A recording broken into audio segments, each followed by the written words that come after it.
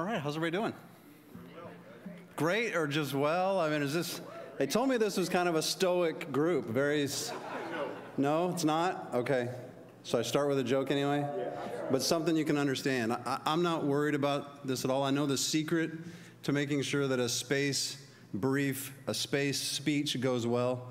Do you know how you make sure? You plan it. You asked for it. You know, I, I do hesitate to tell satellite jokes because they always go over people's head. You guys are going to have to work with me a little bit here. I'll just keep going, eat up all the time. Thank you. I love polite applause. Thank you for giving me this opportunity. Thanks to the Chamber for inviting me to speak with you all today. The people in this room represent some of the most critical partnerships as we continue to normalize operations in the newest military force to secure our nation's interests in, from, and to space. Now, from my vantage point, it's been interesting to see the evolution of the Global Aerospace Summit over the last two decades, particularly as the space domain has taken on greater and greater significance over the years. I think there can be no question that our industry partners have driven a substantial part of this change. This is what I believe is the beginning of a true golden era for commercial space. And that has significant implications for us all going forward, a point I'll touch on in a few more minutes. My goal today is to focus on what I see in the space domain, both today and looking forward, and then discuss some of the expectations and terms of reference that the Space Force has created to help our industry partners address the augmentation and integration of commercial space capabilities. My hope is that this will bring some clarity to the industry and so that they can globally support and augment the inherently governmental and military activities that we project from the space domain. Now, first, as you may have heard, the Secretary of the Air Force has been talking about optimizing the department for the reestablishment of gr great power competition. The Space Force has been committed to this effort as well in the almost four years since we were established. Under Secretary Kendall's leadership and with strong partners in the Air Force and other services, we've done a lot in a very short time. But we know it's not enough if we're going to outpace our competitors. Today's space domain is far different from the one I learned to fly satellites in. It has become considerably more dynamic and dangerous security environment around the world. For one thing, there are many, many more satellites up there. The domain is now congested and more contested than at any point in our history. This historic growth of activity in the space domain was the genesis for the Space Force, a military service specifically focused on addressing the challenges and opportunities in the space domain. We were created for this new space era, an era increasingly driven by great power competition. We even have some real world examples of this competition playing out today. As the conflict in Ukraine has shown us, space is critical to modern warfare. It has played a vital role in communications, precision navigation and timing, missile warning, command and control, and ISR. And commercial augmentation has proven its value during this conflict. It's unclassified. It has promoted shareability. It has enabled us to supplement the classified data provided. Commercial augmentation enables more distributed mission assets for our allies and partners.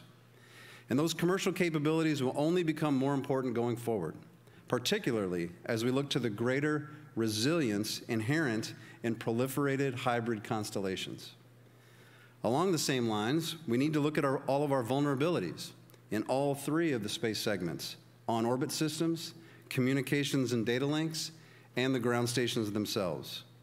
We cannot afford any of these segments to be an exploitable vulnerability to our space missions. There simply can't be a single point of failure in that chain. But protecting hardware and infrastructure is not enough. We need to collectively maximize our efficiency and effectiveness given the requirements of space domain in the midst of this great power competition. So we also need to reimagine our training and tactics to include how we coordinate, communicate, and cooperate, to ensure we are maximizing our effectiveness against a thinking, determined, and very capable adversary. And one way we are addressing future challenges is by exploring ways to better integrate commercial space. Commercial capabilities, services, and activities are expanding rapidly. The competition we are seeing today in com commercial space is driving innovation from drawing board to orbit like never before. And the Space Force wants to harness these efforts to achieve an enduring advantage through commercial augmentation during times of competition, crisis, and conflict. We know our commercial partners are a big reason that we can outcompete our adversaries. In particular, we want to take full advantage of the capacity, the on-orbit rapid tech refresh rates, and innovation offered by commercial space sector, all to enhance what we provide to the combatant commanders. With this in mind and many other factors, our Space Warfighting Analysis Center will conduct detailed, data-driven mission analysis to assess the architectures that are optimized for a given mission while remaining cost-informed. As the cost of launches continues to go down, the bar for innovation gets even lower. Small satellite manufacturing is becoming more automated, more like assembly lines, thereby again lowering the th commercial threshold for entry into the market, allowing for greater proliferation, promoting faster technology refresh rates, and all improvements that we need to meet the current and future challenges in the space domain. One way we are enhancing our relationships with commercial partners is through a soon-to-be-released commercial space strategy. This new strategy will provide a unifying guidance to the force to achieve competitive advantage through commercial augmentation, again, during times of crisis, conflict, and even competition. It will allow us to take full advantage of speed and innovation capabilities offered by the commercial space sector to create strategic advantage. Our goal is to accelerate our advantage through commercial space to support joint operations and I'm hopeful it will be approved and published in the weeks to come. But before you execute the strategy, it's important that we're all having the same fundamental conversation. We have to define our terms. And so preceding this, this uh, space, commercial space strategy, we're working to define a terms of reference, to standardize the discussions that we have with industry, and quite frankly, even the American people. For example, we define augmentation as the use of commercial space goods, services, and activities to increase both capacity and resilience. Similarly, we define what we mean by commercial activity. What is a critical function? What are the inherently governmental functions? What tasks can be executed in whole or part by a private sector entity? Let me give you some specific examples of commercial augmentation and integration across what we're coming to recognize as the five broad categories of data, services, hardware, software, and networks. For data, we have Space Systems Command Pilot for surveillance, reconnaissance, and tracking, or like the military likes to do, SRT, provided by commercial vendors in support of U.S. Africa Command. The goal of this pilot is to demonstrate a commercial capability to provide timely operational planning products in this case to U.S. AFRICOM. The SRT cell will provide tools, expertise, and direct access to the commercial marketplace for finished imagery products in support of unmet Joint Force operational requirements. For the services, 16 companies were awarded a not to exceed IDIQ contract in July for proliferated low Earth orbit satellite based services. The contracts were awarded by the U.S. Defense Information Systems Agency through the Commercial Satellite, uh, Commercial Satellite Communications Office. This is a central marketplace for SATCOM services operated by Space Systems Command. This is a good example of how to build a market of winners that can continue to compete based on a, the capability, capacity, and refresh rate that only the commercial sector can provide. For hardware, the Space Development Agency is in the middle of the issuance of a firm fixed price other transaction authority. This is what it sounds like when a history major is teaching acquisition. Firm fixed price, other transact, OTA, that's right, thank you. Prototype agreement with a total potential value of around $200 million for the establishment of the Tranche 1 demonstration and experimentation system. The vendor will provide 12 satellites and supporting capabilities to augment, augment SDA's Tranche 1 uh, space data transport layer with demonstration and experimentation of tactical satellite communication and integrated broadcast services uh, from low Earth orbit. For software, a technology consulting firm was recently awarded a prime contract to provide software development service supporting our defense cyber operations for Space Systems Command. These are the Manticore and Kraken product lines. The vendor will, part, uh, will partner with our DCO, Defensive Cyber Ops for Space, to develop new features and update the existing product line. Currently, Space Delta 6 provides continuous space access and availability through the satellite control network, along with organizing and operating the defensive cyber operations capabilities. Finally, for our networks. Earlier this year, Space Systems Command selected an industry partner to provide systems engineering and logistics support to the satellite control network. Under this contract, the vendor will reinforce the satellite control network's mission to provide high reliable telemetry, tracking, command communication, and control for more than 170 DoD, NRO, civil, and allied satellites. And it will integrate new systems and services into our battle management C3 sustainment programs. But the value of the partnerships in space ex extends beyond just the United States and our commercial partners.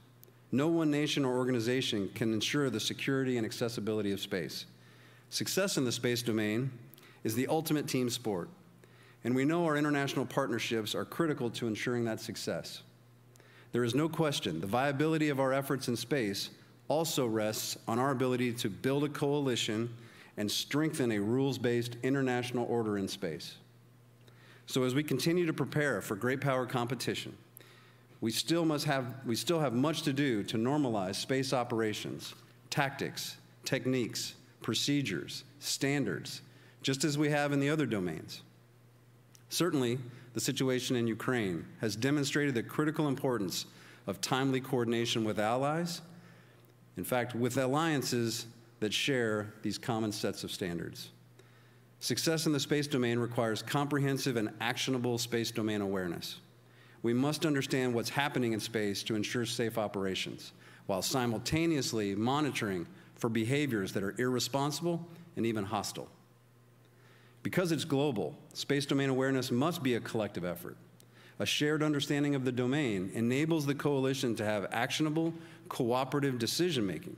It helps promote responsible behaviors and enables appropriate responses that avoid unnecessary escalation when confronted with malign, irresponsible, or even dangerous actions. And you'll notice I said coalition. I firmly believe that we must normalize how we collectively operate in this domain. That means building a coalition space domain awareness framework. We need to continue the shared strength of interoperability we see in other domains.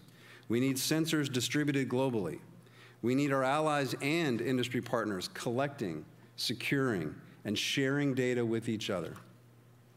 Going forward, all space users will be in the combat zone during a conflict. You cannot separate civilian and military assets in this domain. So we, are, we all share the risk if a war comes to space. There are always, I'm sorry, there are ways to mitigate this risk.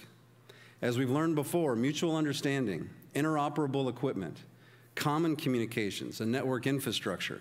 These are the building blocks of successful multinational operations. If we ignore these lessons in space, space assets could, space assets could be disconnected from the greater effort, and operational effectiveness will result. To implement these lessons in space, we must collectively build tactics, techniques, and procedures. We need to train like we fight, train like the, we plan to operate together, just like we do in every other domain. The bottom line is that cooperation is absolutely essential. Successfully achieving a safe, stable, secure, and sustainable space domain will rest on our ability to collectively work together and normalize space operations in the same vein as our agreements in the air, land, and sea domains. To not do so will invite crippling attacks on space infrastructure, infrastructure that has come to underpin almost all of our terrestrial force designs. So in closing, I'd like to reemphasize, the conflict in Ukraine has made it clear. Access to, the use of space is fundamental to modern war. It is also clear that technology is a force enabler that must be supported by integrated training and coalition operations. Historically, space has been an area of unilateral action. This must change. We need to work together as responsible actors to protect and defend against activities that undermine the safety and security of space. We need to improve cooperation, coordination, and opportunities for interoperability. We need to collectively sustain freedom of action in space, optimize resources, enhance mission assurance and resilience, and ultimately deter conflict. We also need to increase our collaboration with the commercial space industry to enable new capabilities that support integrated deterrence, integration that includes data sharing, interoperability between our allies and industry partners. This process has begun. We're already collaborating better than ever, with more to come. The golden age of commercial space is well underway, and with your help, I'm confident it can be successful for all of us. So as we say in the Space Force, thank you and Semper Supra.